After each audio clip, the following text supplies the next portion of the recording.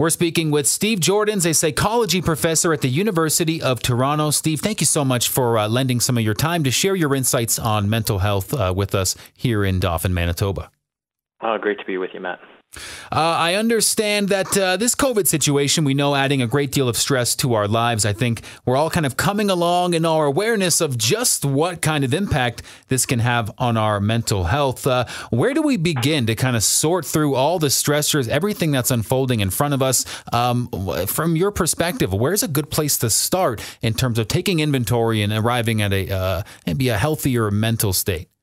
Yeah, um, cool. Good question. The, the, first place I would start is understanding, um, just knowledge, uh, getting a sense of what is this anxiety response? You know, why why does our body respond the way it does, and and how does that then involve our mind in all these anxious thoughts? Because it's actually a pretty you know basic primitive reflex that we have that, uh, and, and it's meant to be you know we're out gathering berries, and and then suddenly a predator emerges in front of us, and we have a threat to our existence, and the system kicks in that makes us ready to either fight that uh, predator or flee from it. So it fills us with all this energy, all this strength, and this sort of cognitive desire to do something about the situation. We become sort of more emotional and less rational. It's kind of like no time for thought. This is a time for action, uh, and it's meant to be a situation where we take out that predator or get away from it, and then one way or another, half an hour later, it's all over. Um, the problem we have here is the predator is just hanging around and we're staring at it every day. And this response, which is meant to be just a quick acute response, is becoming chronic. And so, you know, I think the first the first place to start is to really kind of understand what that is. There's no fancy mojo. This is no baggage from well, it is baggage from your past, from your evolutionary past, I guess. It's just a very basic biological response. And once you understand it, then you can recognize it when it's happening to you when when your anxiety is pretty high. You can go oh okay yeah i recognize what that feels like now.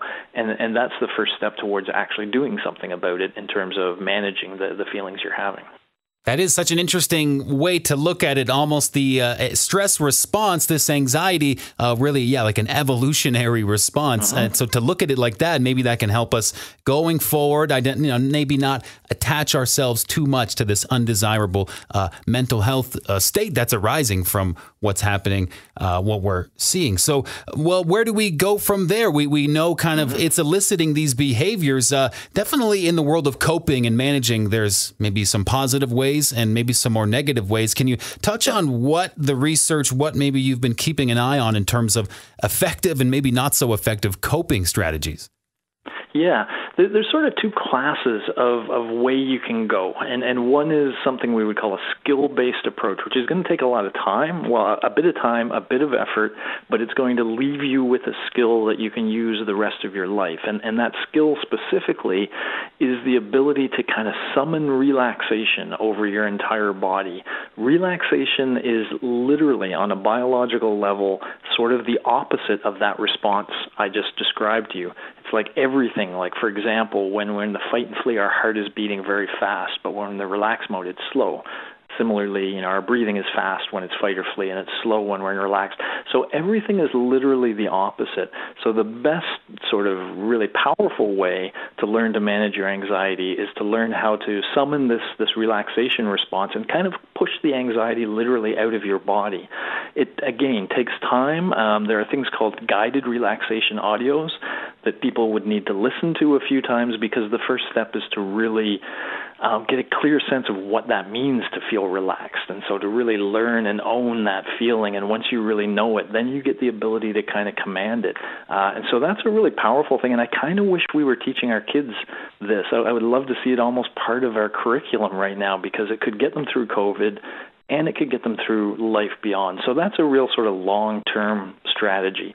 Um, there's also some really sort of quick fix short term strategies, and they all kind of boil down to the same thing. But like you say, some some are negative and some are positive, and what they boil down to is becoming more mindful of the effect that certain activities that we do have on our mental state. So, for example, watching the news Um, when you're watching the news, we're all, you know, very tempted to watch the news and see the latest numbers and find out what the positivity rate is. Information kind of makes us feel like we, we at least know what's going on. Uh, but it's also like staring that predator right in the face. And, and if you're going to stare the predator in the face, you're going to get that anxiety response. And if that becomes something you do too often during the day, you're going to continually be feeding that response. Uh, and so what you need to do is, is find some other kind of realize, and often it is realization. Um, we may already have some things in our life. So the, the one I often mention is I learned how to use GarageBand over over this COVID period, which is this thing that allows me to get songs that have been rattling around my head actually out, and so I can turn them into actually real songs. And when I do that, COVID is gone um, my my head for that hour that I'm in the basement playing with this stuff is totally into the music. We all have something like that, something that takes our mind to a better place, to a non-COVID place. And if we kind of inspect our lives a little bit and find that thing, that thing is medicine. Um, that that thing is an opportunity. It's a way to change the channel of our of our mind, uh, so that literally, if we feel like anxious thoughts are starting to get the best of us, maybe we just watch the news.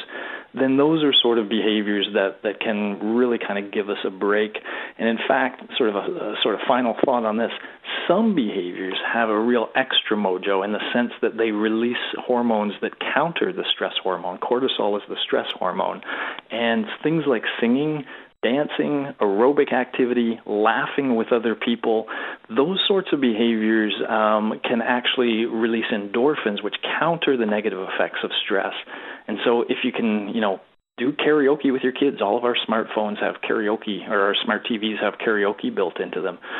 Things like that, where if you end up laughing and singing, that is also you know real good medicine and so almost scheduling things like that in our day to kind of give us a break and, and to give us some positivity to go along with all this gray cloud we're speaking with Steve Joordens, a psychology professor at the University of Toronto. Steve, I think you highlighted some really uh, cool strategy there, which is to, find something of some kind of personal significance that we can really dive into almost and escape uh, a pretty you know, valuable coping mechanism if we can identify those things that uh, can provide that for us that are that yep. meaningful. Now, beyond those personal things that we can dive into, uh, my final question will be this: What can we do in terms of we've kind of been deprived of our ability to connect, whether it's going out to music yeah. shows, having that group experience, uh, what we have our Zoom or online, but how are we to replace, you know, the fundamental need of person to person interaction?